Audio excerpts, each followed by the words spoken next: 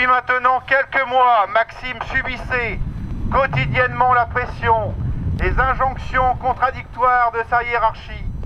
Son travail, sa conscience professionnelle étaient systématiquement remis en cause et déniés par ses responsables. Maxime avait pourtant, depuis sa venue dans ce rayon alcool, bière plus précisément, fait augmenter de 40% le chiffre d'affaires. Mais le management déshumanisé et en total décalage avec, les réalités du terrain ont eu raison de Maxime. Mais Maxime ne doit pas être mort pour rien. Son combat, ses engagements pour la justice sociale, pour le respect des droits des salariés doit continuer. Il est inadmissible qu'en 2020, un salarié soit poussé au suicide à cause de son travail. Il est inadmissible que Leclerc n'ait pas agi aux différentes alertes. Pour EFO 54, il est indéniable que la direction du magasin Leclerc de Vendeur est complice.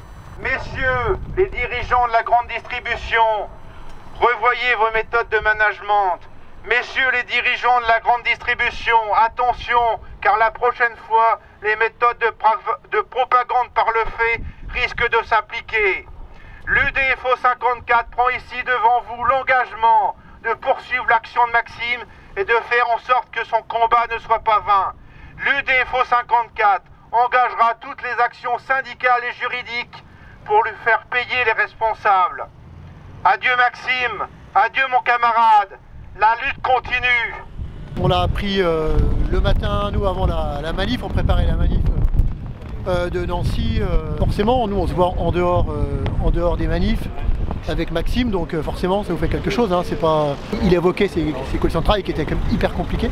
Enfin, le choc, mais j'y croyais même pas en fait. J'y croyais pas, je pensais pas que c'était possible. Il était encore avec nous jeudi à la manif pour les retraites. Donc il était de tous les combats et honnêtement le choc, la tristesse et l'incrédulité et après la colère.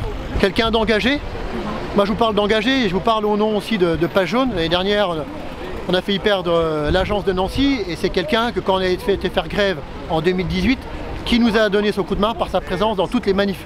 Donc ça, euh, je m'en souviendrai tout le temps, parce que même les collègues, nous, à Page Jaune, s'en rappellent, qu'il est venu toujours nous aider. Donc quelqu'un d'engagé euh, et pour sa boîte, et pour les autres boîtes, pour les retraites. Donc c'est quelqu'un qui lâchait pas le beefsteak, donc quelqu'un, en plus, quand je discute ici avec ses collègues, quelqu'un et avec des clients que j'ai pu croiser, qui était euh, rendant service, qui était un bon gars, qui était apprécié de ses collègues. Clairement, euh, ouais, de l'injustice. Donc en plus de ça, euh, qui avait le sourire, au-delà de ça, donc ça fait mal au cœur. C'est que les gens prennent conscience que c'est le, les conditions de travail aujourd'hui sont, sont, déplorables, qu'ils prennent conscience qu'aujourd'hui on peut mourir au boulot, on meurt pour son taf. S'il est mort ici, c'est pas pour rien. Hein, il aurait pu peut-être le faire ailleurs, chez lui ou je sais pas.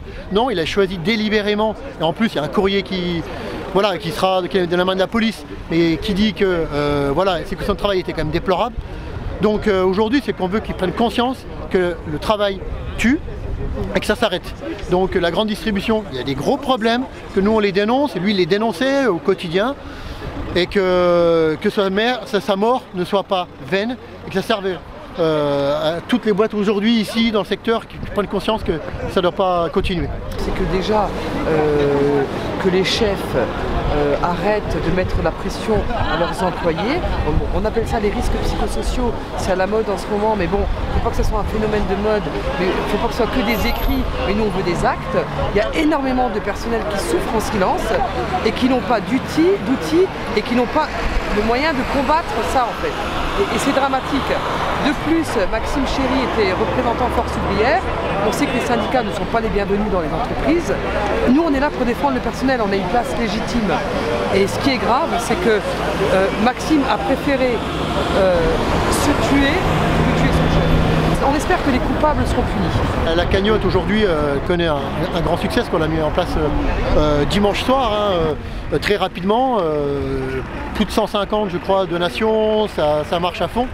Mais il y a une conscience collective. Aujourd'hui, les gens, j'ai vu, il y, a des députés qui ont donné, il y a des collègues, il y a des gens, des clients, etc. Donc il y a une réelle prise de conscience et ça fait chaud au cœur que voir que, que derrière, euh, ça ne le ramènera pas à la vie, clairement, mais au moins, ça permettra peut-être d'engager, nous, au niveau euh, syndicat, euh, des actions juridiques, pour qu'effectivement, derrière, ça serve la cause et que les gens se disent, voilà, il ne sera pas mort pour rien. Donc ça, c'est une grande satisfaction que la cagnotte soit, soit mise en place.